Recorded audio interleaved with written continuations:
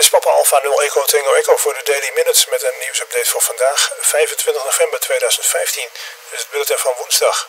Data is zoals altijd Contestia op 355 hertz, maar met 8 tonen in plaats van 2. 8 tonen in plaats van 2. Het eerste onderwerp is 60 meter, CQ 5 MHz. Vorige week en deze week heb ik een paar keer contact gehad met het ministerie van EZ over deze band.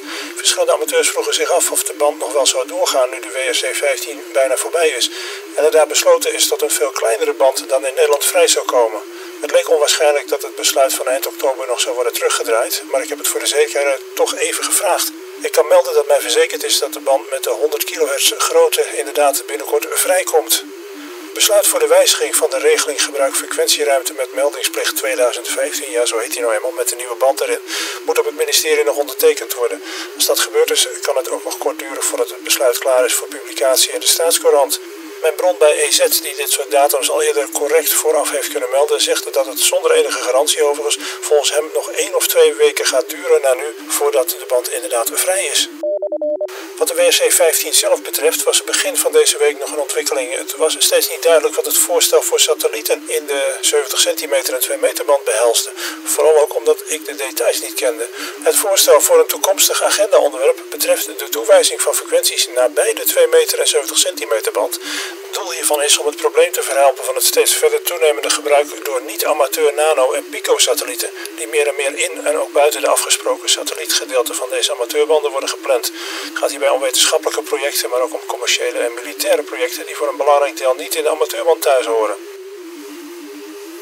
Gisteren na de uitzending meldde zich ook nog een amateur van wie ik de roepnaam nu helaas even vergeten ben. Die kon vertellen dat de NDB-bakens ook hier in Europa en Nederland nog steeds actief zijn. Die kunnen dus nog steeds beluisterd worden. Het is misschien wel leuk om met een nieuwe amateurband in het vooruitzicht wat meer te vertellen over het ontstaan van 5 MHz, de 60 meter band. In eerste instantie was deze band alleen beschikbaar in de VS, het Verenigd Koninkrijk, Noorwegen, Finland, Denemarken, Ierland en IJsland. De band is, we melden dat al eerder, zo interessant vanwege de bijzondere condities. Want is in tegenstelling tot de dichtstbij gelegen amateurbanden 80 en 40 meter, in het zonnevlek minimum en maximum zo goed als nooit dicht. En daarnaast zijn er ook meestal zowel lange afstands- als korte afstandsverbindingen mogelijk. Ik begin even met een beschrijving van de gang van zaken in de VS. De historie van de band begint in 2002 toen er voor het eerst serieus gesproken werd over het vrijkomen van deze band voor amateurs in enkele landen. Ik kan informatie hierover niet zo snel meer op internet vinden, dus ik moet het vanuit mijn geheugen doen. Maar in het voorjaar van 2003 zou er een 5 MHz band komen in de VS met zo'n 150 kHz bandbreedte. Alles was al gepubliceerd en dat leek zeker, maar slechts drie weken voordat de band beschikbaar kwam, of zou komen, gaf vervolgens de primaire gebruiker te kennen dat ze hadden zitten slapen. En dat wat hen betreft van een amateurband hoe dan ook geen sprake zou kunnen zijn. Vervolgens zei de FCC dat ze niet met lege handen konden staan bij de toezeggingen die ze al aan de amateurs gedaan hadden.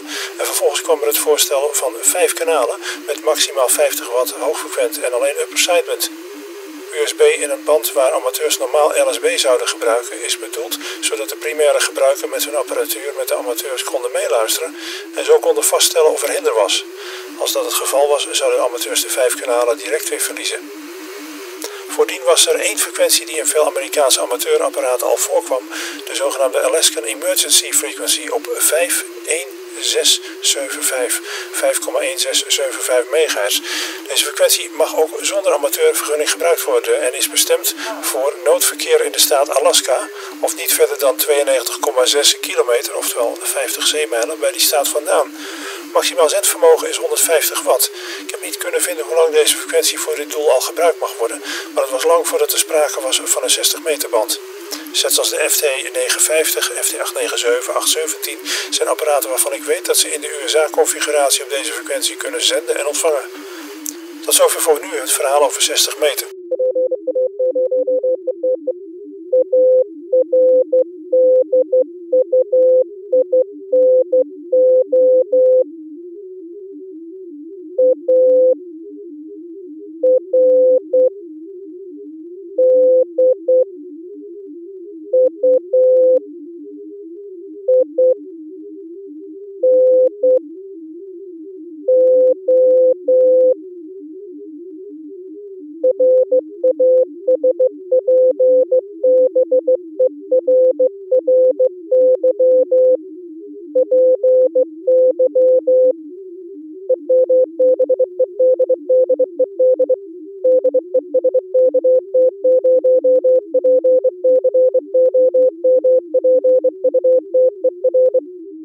ze zijn dagelijks om 1900 uur te beluisteren op PI2 NOS en s ochtends om half elf.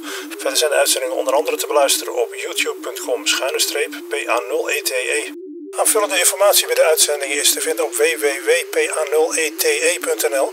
Mail verder gerust je tips, commentaar en desnoods prietpraat naar xapenstaartje xtv.me.